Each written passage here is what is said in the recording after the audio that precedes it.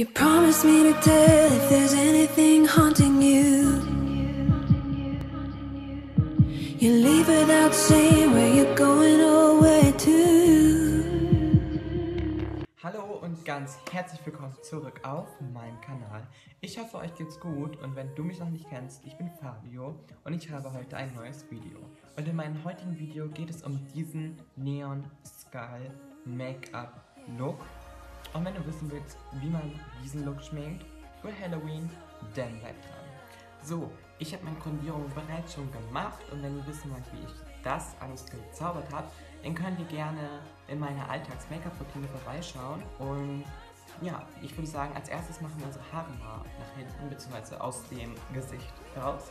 Und wir sind ja hier in unser YouTube-Studio, deswegen geht das alles per Zauberei. Also würde ich sagen, so, wenn die Haare aus dem Gesicht sind, das muss wie gesagt alles nicht perfekt sein, um Gottes Willen. Dann beginnen wir auch schon, würde ich sagen, mit den Augen und arbeiten uns sozusagen von oben nach unten. Als allererstes gehe ich in diesen Farbton mit einem fluffigen Blendepinsel, nehme etwas und verblende das ganz leicht in meine Crease. Und in diesem Look ist es wirklich sehr, sehr wichtig, gut zu verblenden. Dieser komplette Look besteht sozusagen nur aus Blenden. Deswegen verblendet das alles sehr schön nach oben hin und nimmt auch zwischendurch immer einen neuen Pinsel und verblendet das alles schön aus. Wirklich. Ihr müsst viel, viel, viel, viel blenden. Wenn ihr mit diesem Ergebnis einigermaßen zufrieden seid, beziehungsweise zufrieden seid, dann gehe ich in den dunkleren Ton meiner Lidschattenpalette und gebe das von außen etwas drauf und ein bisschen wieder in die Lidfalte. Und wie gesagt, das alles immer gut ausblenden. Und wenn ihr das gemacht habt, gehe ich in diesen ganz dunklen, bärigen Ton rein gebe das hier außen hin, um einfach diesen Neon-Effekt zu erzielen. Und dann wieder alles sehr, sehr gut ausblenden. Und wenn ihr das alles soweit habt, sieht ziemlich hart alles aus, aber deswegen gehe ich jetzt rein in diesen Ton mit so einem kleinen Pinsel und trage das unter meiner Augenbraue auf als Brauhighlight. Und das verblende ich auch wieder. Wenn ihr das alles soweit gemacht habt, dann gehe ich in diesen weißen Ton hier rein. Das ist ein Clownweiß.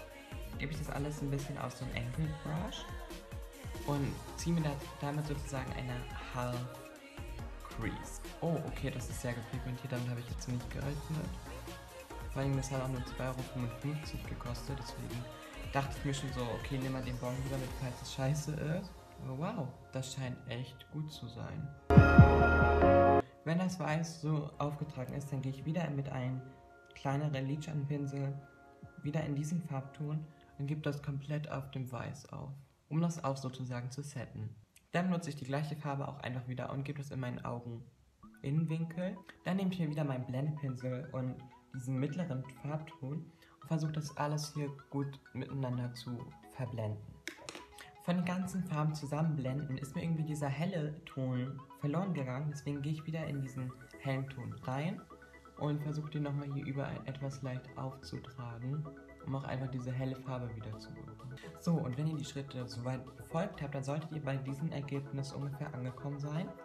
Und ich beginne dann auch wieder mit dem pinken Ton und gebe das unten vom, Ei, vom Auge. Und das verblende ich dann wieder gut. Und mehr mache ich dann auch da im Prinzip gar nicht. Dann nehme ich mir diesen schwarzen Lidschatten von MAC und trage den hier außen, so gesagt wie ein Eyeliner auf, aber auch nur so ein ganz bisschen und trage das dann hier in meine Lidfalte rein. Dann nehme ich mir so einen Blendepinsel und ich habe das schon schwarz drauf, weil ich schon in den Lidschatten gedunkelt und das verblende ich dann auch alles wieder so. Die Lashes, nee, irgendwie wollten die heute mal so gar nicht. Deswegen lassen wir die heute einfach mal aus. Das ist nicht so schlimm. Können Lashes machen, müsst ihr auch nicht. Ich benutze auf jeden Fall diese Mascara von Essence, die alle ja so hässlich finden. Aber finde ich eigentlich ganz gut, weil das Bürstchen ist schön. Mir gefällt das. Und damit werde ich erstmal meine Pinsel tuschen. So, ich weiß, das macht jetzt nicht gerade den mega Unterschied, aber es ist nicht schlimm. Die Lashes, die wollten heute nicht. Auf jeden Fall gehe ich halt für die unteren Wimpern wieder in diesen Weißton rein ähm, mit so einem Angle Brush wieder und benutze das dann für meine unteren Wimpern. So, ich beginne jetzt damit, indem ich mir wieder diesen Ton auf einen Blendepinsel nehme. Der ist jetzt für meine Anastasia Palette Und ich fange jetzt damit an, die Linien schon vorzuziehen. Allerdings müsst ihr jetzt einfach schauen, wie ich das mache, weil das ist schwierig zu erklären.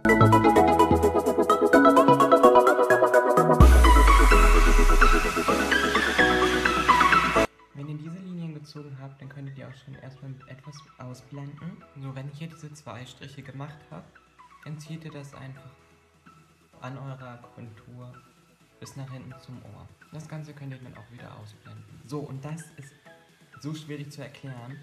Deswegen müsst ihr einfach jetzt mal wirklich gucken. Das ist echt schwierig. So, und jetzt kommt wieder ein schwieriger Part. Und zwar nehmen wir uns wieder diesen schwarzen MAC-Lidschatten und versuchen die ganzen Sachen hier auszufüllen. Und das ist wirklich schwierig, weil da dürft ihr wirklich nicht so viel nehmen. Ihr müsst alles gut verblenden.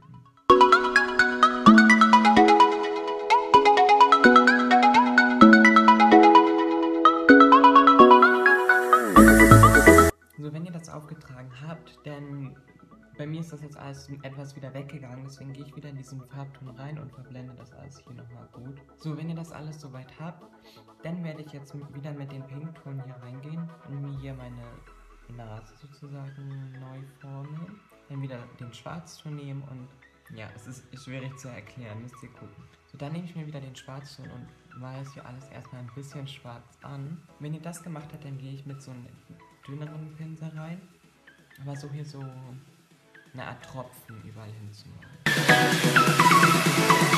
Und das verblende ich dann auch wieder alles ein bisschen. So, und wenn, ihr, wenn das Ganze dann bei euch so sehr, sehr, sehr komisch aussieht, dann habt ihr alles richtig gemacht. Denn jetzt kommen wir auch schon zum letzten Part, und zwar der weißen Farbe. Und da benutze ich wieder diesen angestickten Pinsel, gehe da schön großzügig rein und jetzt ist wirklich Handarbeit angesagt. Und zwar müsst ihr alle Linien, überall hier diese Linien ziehen. Ich zeige euch das mal.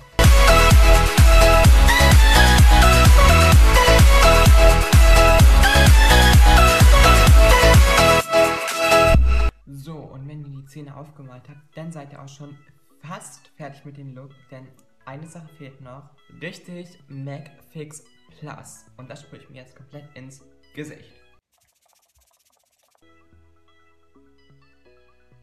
So, und schon seid ihr fertig mit diesem Neon Skull Make-up Halloween Look.